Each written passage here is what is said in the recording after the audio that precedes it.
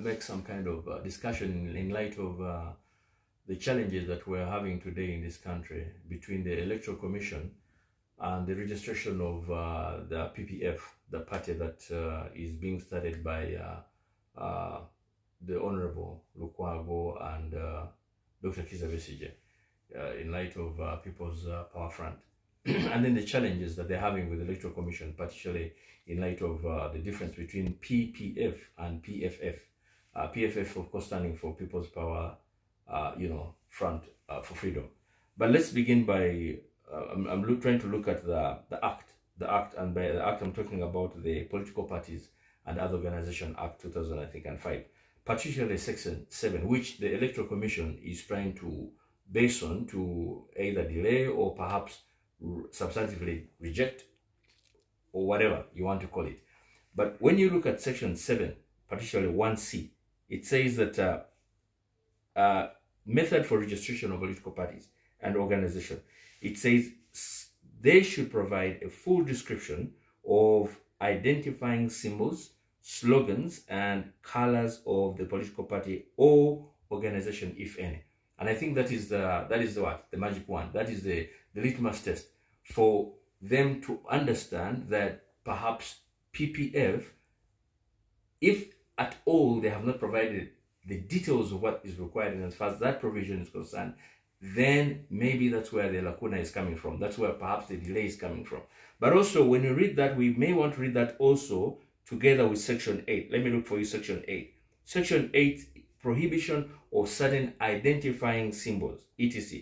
They are saying a political party organization shall not submit to the Electoral Commission for the purpose of registration under Section 7 any identifying symbol, slogan, color, or name which is the same or similar with the symbol, slogan, color, or name of the initials. Now, what is extremely important for us to understand is that in spite of this, we have got substantive parties in this country, parties like DP, parties like Social Democratic Party, parties like PPP, the one of Bidandi Ssali, parties like PDP, the one of uh, Abedi Kiwanuka, that have names that almost are similar.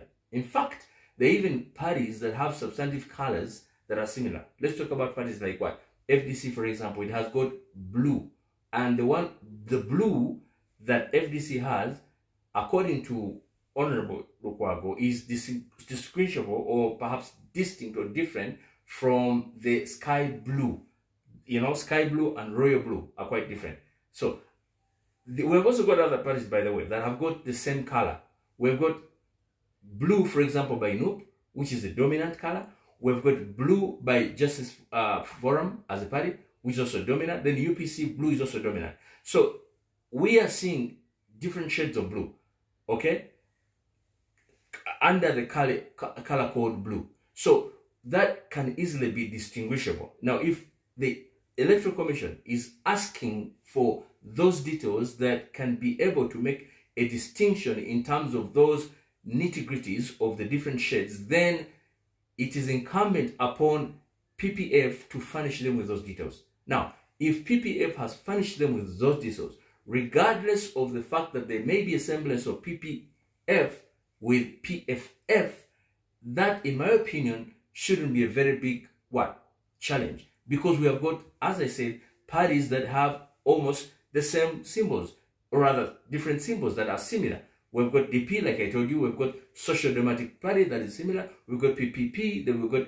PDP. So, but the distinguishing factors are those nitty-gritties that the law says should be furnished. So if PPF has furnished those details, then I see no reason why the Electoral Commission should stop in any way the registration of PPF. Now, there are those who are arguing that, listen, PPF, the one that is people's, uh, you know, power front, the one that the Lukwagos are trying to register, is similar with PFF, which is, quote unquote, already, according to Electoral Commission, already registered as a party. Lukwago is saying, when you check the Gazette, that party is not registered.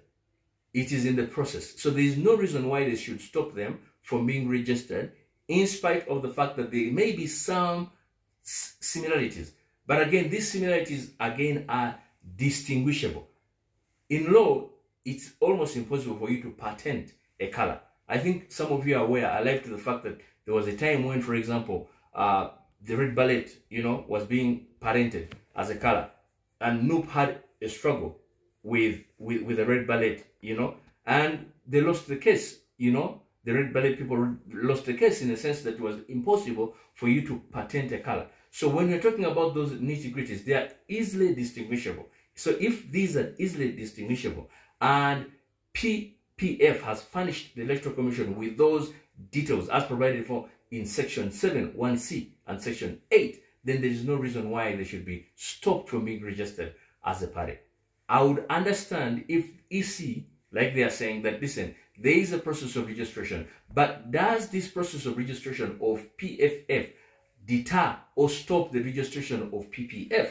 That is the question of the day. In my opinion, there shouldn't be any stoppage in light of that because number one, we're aware that time is about to catch up with them because they intend perhaps to stand or even front a candidate in terms of presidential, presidential elections. So we need to understand the dilemma that the nation is having right now. In my opinion, there shouldn't be any dilemma unless there's some kind of politics, gymnastics that is being played between these individuals. So we, we, could also argue, I mean, there are other parties, for example, we could argue that PP, uh, PP, PPFF, for example, was founded or even registered by, by, by, by an individual who comes from, from, from, from, from the NRM bracket. Maybe he had anticipated and stopping, what his intention was to stop other people from registering any a party that has slogans that are similar in that perspective. There are other parties, for example, that are, you know, uh, anticipatory registered because of individuals who feel that they are trying to block an individual X because maybe they're worried of their political, uh, you know, uh, performance in the future. So rather than politics that is at play, the law is very clear. As long as you can make a distinction between these two different parties or these different shades in terms of slogan, in terms of color, then there is no reason why the Electoral Commission should actually stop these people from being registered. God bless you and thank you.